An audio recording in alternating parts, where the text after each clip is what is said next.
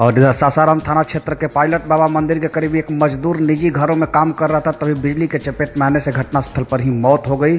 गौरतलब है कि मृतक गौतम कुमार शिवसागर थाना क्षेत्र के मचवार गाँव का रहने वाला था, जो अपने गाँव से सासाराम डेली मजदूरी करने के लिए पहुँचता था। इसी दौरान उसने सासाराम स्थित पायलट बाबा धाम मंदिर के पास एक निजी घर में मजदूरी का काम कर रहा था। शाम होने की वजह से घर के अंदर काफ़ी अंधेरा हो गया था, जहाँ घर के अंदर बिजली की नंगी तार लगी हुई थी। इस दौरान गौतम कुमार की नज़र उस नंगी तार पर नहीं पड़ी और काम के दौरान वह नंगी तार की चपेट में आ गया, जिसके बाद उसकी मौत घटनास्थल पर ही हो गई।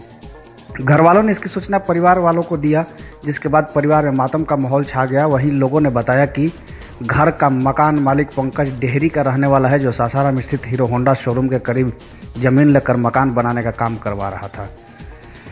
वही सूचना पाकर पहुँचे मृतक के पिता और उसके मामी का रो रो कर बुरा हाल है। मृतका की मामी रो रो कर यह बताती है कि परिवार का एक ही लाल था जो पूरे अपने परिवार को देखरेख करता था।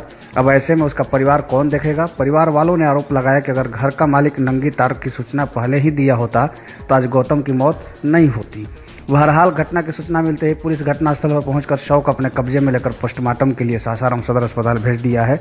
वही पुलिस अभी मामले की छानबीन कर रही है। ना कैसे मजदूरी करे हमारा गाँव के लिए आगे जा।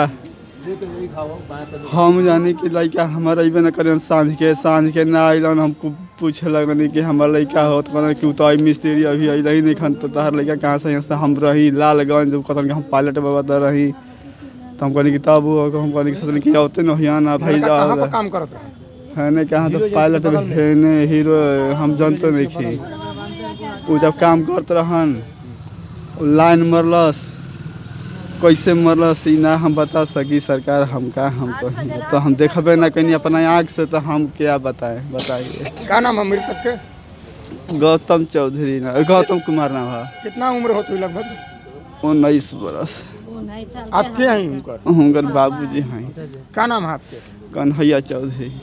कहाँ घर पड़ी आपके? मचवार कौन थाना पड़ेगा? शिव सागर नहीं जी हम जानते नहीं कि तो ये कैसे भइल घटना आका तो लाइन का तो लांगा रख ले रहा सर जी जन ने। तो बोलेंगे ना चाहिए कि हाँ ये लाइन बाबा वो चाहे उतार दी हम काम लगा ले बनी तो काम काम उतार ना दे आ लड़का के सटा के कनी काम से रख ले रहा रात आठ बजे रात के फ़ोन कर रहा से भैया। का हो के?